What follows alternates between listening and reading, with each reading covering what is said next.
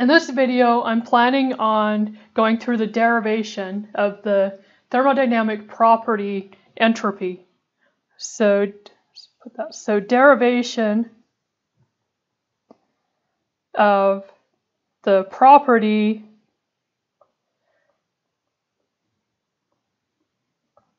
entropy. So what I want to do is first consider, so let so I want to consider a few processes. So let's say that first we have a process that goes from 1 to 2. And I'm going to call this process A. And then we have a process that goes from, should be 2 here, that goes from 2 to 1. I'm going to call this process B. And then we have another process that also goes from 2 to 1 and I'm going to call this process C. So basically what we have is we have process A that goes from 1 to 2, and we have process 2 to 1 can be either B or C. And I'm going to assume that both processes. So both processes are internally reversible. So then what we can do is we can integrate this, so delta, so dq over t.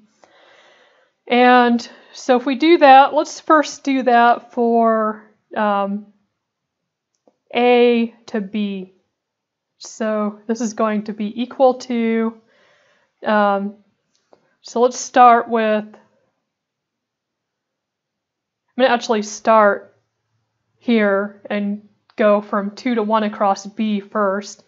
So from 2 to 1, delta Q T, and this is for B, which is internally reversible, minus, and then we have so for this one, we want to go back along A. So this is going to be from 1 to 2, delta Q over T. This is for A, which is internally reversible. And then we know that this is going to be equal to 0 because it is internally reversible. Now let's do the other one. So the other one we want to go from path A and then come back on path C. So we're going to have delta Q over T is equal to 2 to 1, and this is dq over t, and then this is going to be c, which is internally reversible, minus, and then this is 1 to 2, dq over t. Over a again, so internally reversible. And since the, the, these are both internal, internally reversible, we know that this is also equal to zero. So since both of these equations are equal to zero, what we can do is set them equal to each other. So let's do that.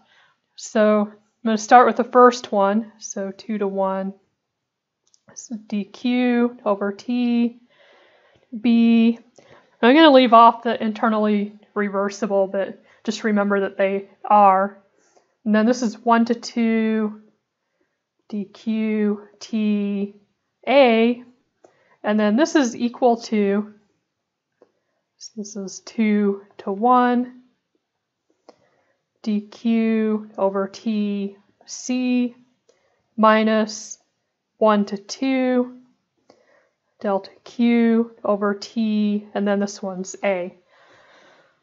So right away we can cancel out A because it just subtracts out. And so then we're left with this, so we have 2 to 1, delta Q over T, B is equal to 2 to 1, delta Q over T, C. Now we have this equation what we want to do is kind of interpret this because it, it looks like maybe like this doesn't really mean anything, but we want to interpret this. So first I'm gonna, just going to specify that this is internally reversible. A couple things I want to point out. First of all, B and C are arbitrary processes. So remember, if I go back up here to this drawing, remember we had B and C, and we just I just kind of drew them on like they were pretty arbitrary. Like I, like they could have been any path. Um, so B and C are arbitrary processes. Um, they could be any process if they go from 2 to 1. So could be any process from state 2 to state 1. And for any of these processes, so for any, I'm just going to say for any arbitrary process, they'll end up being equal.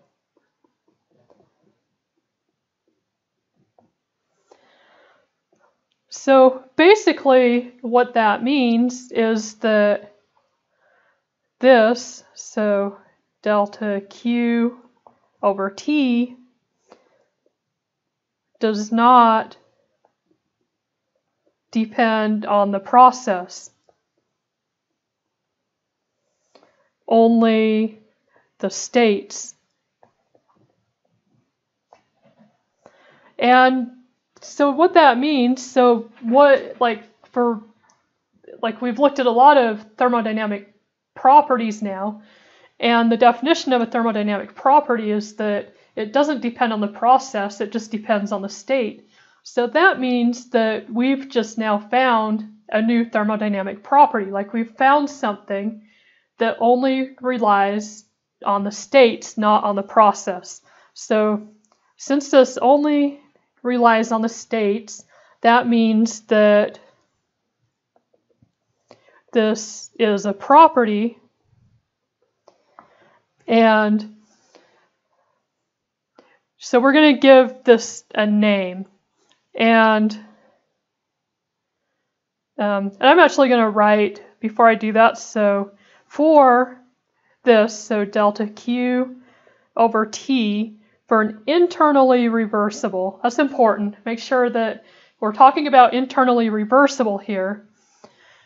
So this integration is the same for any internally reversible process between two states no matter the process. And so this is a thermodynamic property, and what we're going to call this is entropy. So this is entropy, which is a new thermodynamic property. And it's usually written with an S.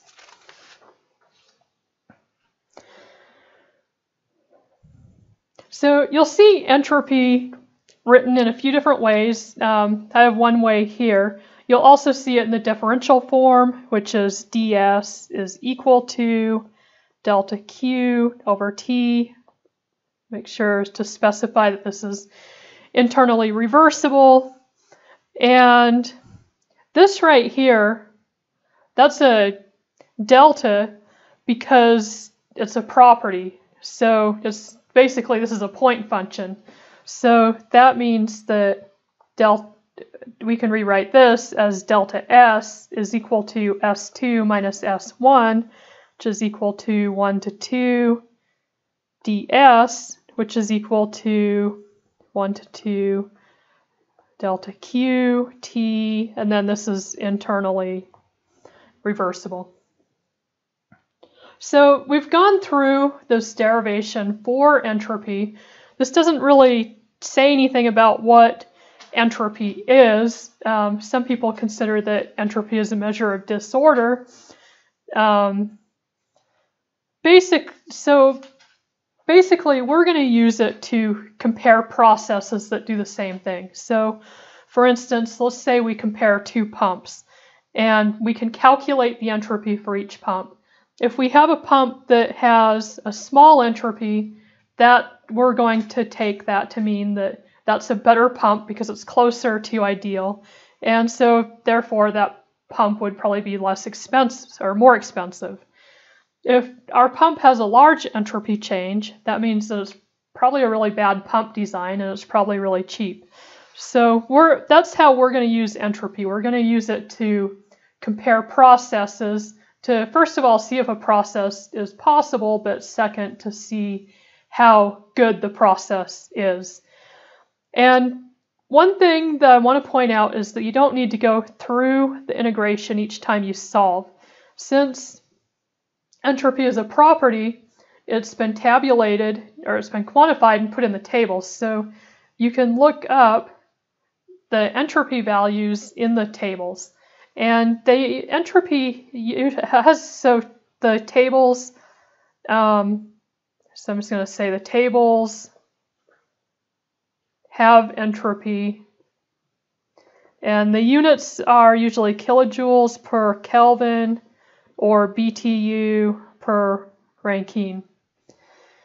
Um, or there's also specific enthalpy, which just means it's been divided by the mass. So specific enthalpy would have units of kilojoules, Kelvin, kilogram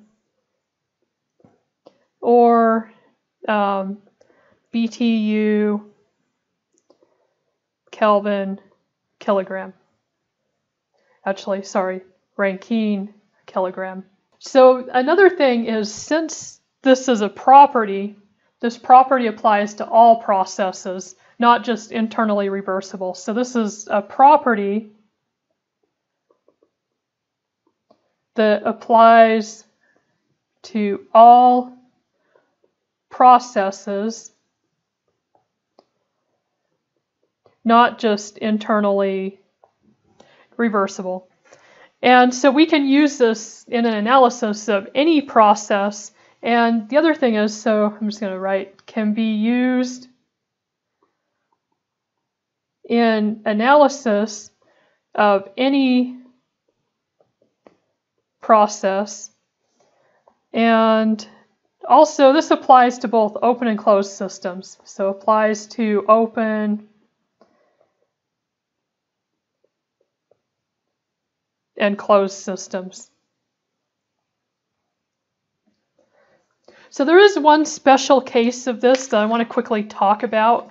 Um, so let's say that we have, and I'm going to write special case, and I want to show you this special case because you'll see this equation a lot.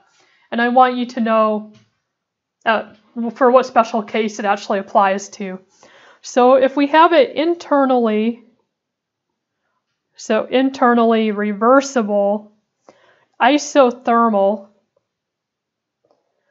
process, then we know that the temperature is equal to T naught. And so then we can calculate the entropy as delta S is equal to S2 minus S1 is equal to, and then this is delta Q over T, internally reversible. And then this is equal to, um, since T is T naught, so T is constant, we can pull it out of the integration. So then we have 1 over T naught, and then this is 1 to 2, delta Q internally reversible. So then this is just equal to Q 1, 2 over T naught. And so if you have an internally reversible isothermal process, you don't need to look up entropy on the tables. You can just use this equation to calculate what your change in entropy is. But just keep in mind that this only applies if you have an isothermal process.